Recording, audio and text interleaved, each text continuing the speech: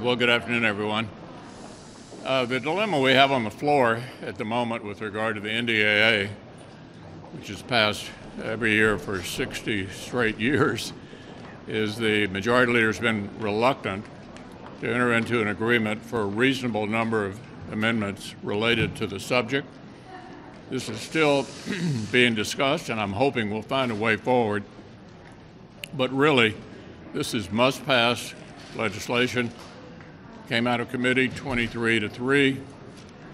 All kinds of challenges related to the Russian pipeline, to Russians threatening Ukraine. Uh, these issues need to be addressed in a normal amendment process, and that is the only reason that we pushed the pause button on this bill, excuse me, yesterday, uh, because of the absence of an agreement to go forward. That's still under discussion. You might have noticed that the chairman of the Fed said the use of the word transitory in front of inflation should be discontinued, meaning obviously inflation is not transitory, it's going forward. The principal driver of that inflation is the American Rescue Package passed on a totally partisan basis earlier this year. The only way to keep inflation from getting worse would be to kill the reckless tax and spending spree, and we hope that's the ultimate fate for that ill advised proposal.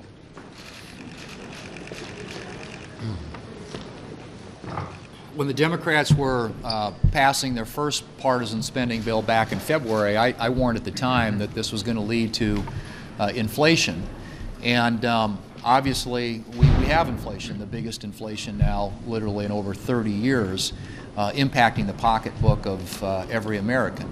Um, and as the Democrats now contemplate yet another tax and spending spree that would recklessly and radically uh, try to transform and change our, our government and our country, but um, just as importantly, perhaps more importantly to the average American, is going to lead to further inflation as the leader mentioned.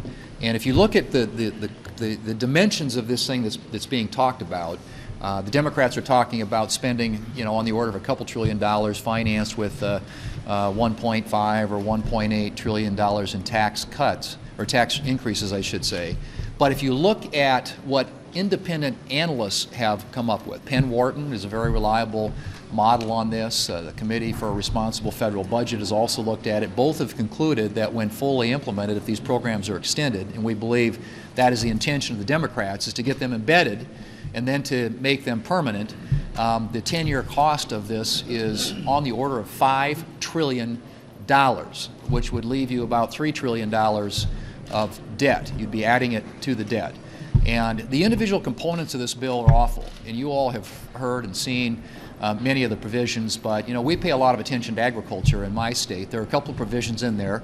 One that adds a couple hundred million dollars for urban agriculture. Not sure what uh, that means, urban agriculture. There's over $3 billion in the bill for tree equity. Evidently, we need more balance among the trees that are planted out there. I don't know. But this stuff is just crazy. And if you look at what the impact of the lifting the, the cap on deductibility of state and local taxes would be, and how that would affect states around this country, you would have states like South Dakota, uh, states in the middle of the country that are low tax states, subsidizing high tax states like New York and Connecticut and California, and delivering tax cuts. They're raising taxes in the bill, but cutting taxes for millionaires in people in states like California, Connecticut, and, uh, New York. So this is just fraught with lots of problems. The American people recognize that, which is why they're turning on it so quickly, and why the Democrats are so desperately trying to pass it before the Christmas holiday. They know that as this thing is exposed to the public, that they're going to start losing more and more of their members. And what I would say is all it takes is one Democrat. One Democrat can stop this in its tracks and prevent this big government socialist idea from ever uh, becoming law. I hope that we'll have uh, a brave Democrat or two who will step forward and do just that because they will be doing a huge favor to the American people who are going to pay the price and the cost of this reckless, radical tax and spending spree. Thanksgiving weekend is the time that uh, many people hit the road. It's the most traveled weekend of the year, and thanks to Joe Biden and the Democrats this year, it was also the most expensive. And as people were hitting the road, gas prices were hitting the roof. Prices are up all across the country. And Joe Biden pretended to deal with this by announcing he was going to release some energy from the Strategic Petroleum Reserve. Well, why, the reason I say pretending is the amount he released was just a drop in the bucket. It's about the amount that the United States uses every two and a half days. This is clearly no substitute for American oil and energy production. President Biden has declared war on American energy, and he started the first day in the White House when he drew a target on the back of American energy and he pulled the trigger. He killed the Keystone XL pipeline. He put a moratorium on leasing uh, for oil and gas on federal lands.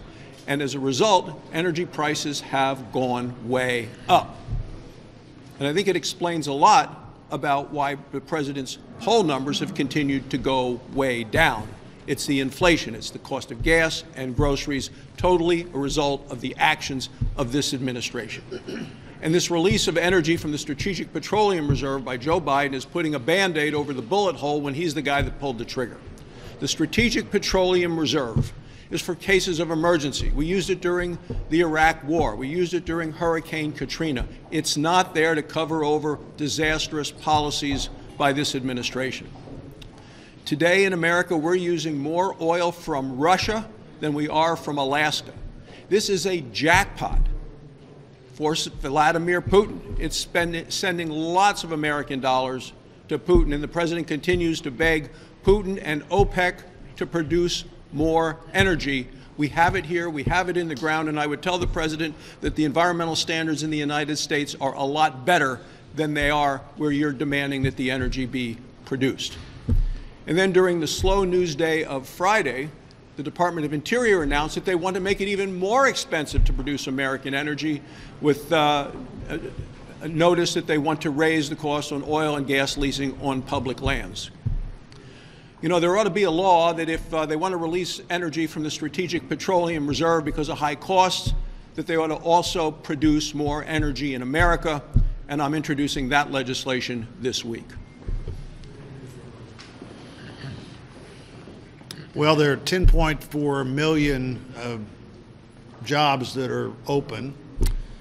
Uh, and mandate politics, I think, could wind up with a lot more jobs that are open. I'm continuing to hear from Missouri facilities that take care of veterans, or particularly our smaller hospitals, where just frankly people don't want to be told what they have to do about their own health. Now, I'm pro vaccine.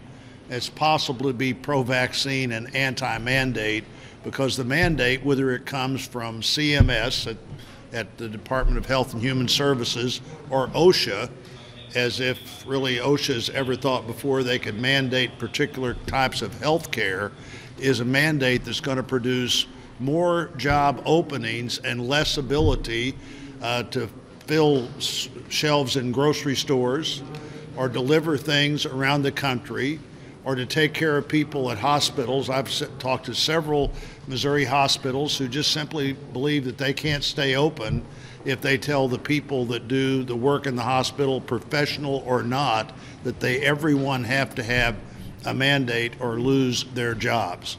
When people lose their jobs, the country loses the services and benefits of those jobs. Uh, there is no reason to believe that a government that the government has the authority to tell people what they have to do about their own health care, particularly when the news continues to change about health care. I was just reading this week, there's now a widespread belief uh, that immunity from having COVID is as strong as immunity from the vaccine. Now, my personal view would be immunity from having both the vaccine if you had COVID is even better immunity, but that's not necessarily the decision of the government to make. It's a decision that people are more and more obviously insisting they make that decision for themselves. And if it means they have to leave their job, a lot of them are going to decide to leave their job. Welcome back, everyone. I do hope that everyone was able to enjoy Thanksgiving with their family and friends. And of course, over this holiday, Iowans had a lot of somber discussion over that Thanksgiving turkey about the crises that we have seen so far this year in this administration. Things like inflation and how it has impacted their pocketbooks, the open border situation uh, on the southern border, and of course, uh, our loss of global standing in the eyes of our allies and friends around the world. And Iowans really want solutions for these issues. And what I can tell you is that it is not a solution for inflation when you spend trillions of dollars more. It is not a solution for a crisis at our southern border when you're promising amnesty to people who illegally cross the border and offer them benefits that our citizens receive. That's not a solution. And it is not a solution to our loss of leadership around the world to abdicate authority to a powerful Russia as they're preparing to invade Ukraine and to give up on Taiwan as the, they see China exerting pressure over them. These are not solutions. Americans want to see our federal government spending less. They want to see us close the border to illegal entrants, and they want to see us regain authority on a global stage. Those are solutions, and unfortunately, we are not seeing them from this administration. Across Florida, sheriffs are telling us that there's an unbelievable amount of fentanyl coming into the country. I went down to uh, the Yuma, the Arizona border in Yuma uh, last week, and what you saw is just people streaming across. So the Border Patrol sits there, people stream across, drugs are coming across. With the individuals, the Border Patrol is re- responsible for picking them up. They do, they do the best they can every day, and they are dispersed around the country. They're not, you know, we don't, we have no idea who these people are. The way it works is all you have to do is fly into Mexico, get to the border, walk across the border. Every family I talked to, and I talked to five families in about an hour, and they said that's all we did. We just flew in. We flew into Mexico City. We flew here. There was a bus brought us out here, and we walked across the border. This fentanyl is killing unbelievable amounts of people. We had 100,000, 100,000 people die of drug overdoses last year in this country. That's about one out of every 3,000 people live in this country died of a drug overdose last year. And the Biden administration doesn't care. With regard to this reckless spending bill, here's the latest. They want to give tax breaks to the wealthy in California, New York, New Jersey, and Connecticut, and in 12 states, cut the Medicaid program. Cut the Medicaid program for, for hospitals and other programs that take care of the poorest people in this country. You can't make this stuff up. Leader McConnell. Leader McConnell. Chair. Thank you. It was said to me a bit earlier that there were quote talks going on about the debt ceiling. Have you had more conversations or your staff with Leader Schumer about how to address this? How has this progressed from you suggesting that there was an engagement uh, just before Thanksgiving? Yeah, first, let, let me assure everyone the government will not default, as it never has. And second, um, Majority Leader and I have been having discussions about the way forward. But you wrote to President Biden back in, after the last debt ceiling, that there would not, you're not provide any assistance going forward. So why are you now providing assistance, and what kind of assistance are you going to provide the Democrats to raise the debt ceiling? Yeah, we're having useful discussions about the way forward. Yeah. Um, listening to you and Senator Thune talk about inflation and Senator Thune talking about one brave Democrat who could stop this bill, I can't help but think you have a specific audience in mind. have you discussed your views on the inflationary impact of this bill with Senator Manchin? Look, I think we all know the, situation we're in. Not a single Republican in the Senate is going to vote for this reckless tax and spending spree. We, we all know it only would take one Democrat to tank it. Um, most of us feel that the single best thing we could do to fight inflation right now would be to kill this bill. And only one Democrat could do that. Are we hopeful that one will step forward? Absolutely. Yeah. Leader, uh, as you know, uh, they're still negotiating with respect to the CR. Are you confident that the government won't shut down by the end of the week? Yeah, we, we won't shut down. Um, Senator Shelby is engaged in discussions about the, not only how long the CR should last, but certain conditions, um, sort of bright lines that we've had in these measures forever. Uh, for example, the Hyde, the Hyde Amendment. And um, I think we'll get there, and certainly nobody should be concerned about a government shutdown. Senator McConnell, uh, following up on the earlier question, you did meet again today with, with Senator Manchin. Can you just give us any indication, how, how are your talks with him going? Do you think you're having any effect on his views on Build Back Better? Well, as you all know, Senator Manchin loves to, to talk to everybody. He talks to you, talks to us. We had a great discussion. I enjoy. Uh, Joe's uh, company, our states are pretty similar, and we both, I think, view part of our responsibility is to look after what most people refer to as flyover country. And there's no question that the, today's Democratic Party in Washington is oriented toward the high population coastal areas of the country. So I admire uh, Senator Manchin. I think he's in a really challenging position in a party that is dominated by sort of East Coast elitism views of what America ought to look like. I pull for him every day, pray for him every night.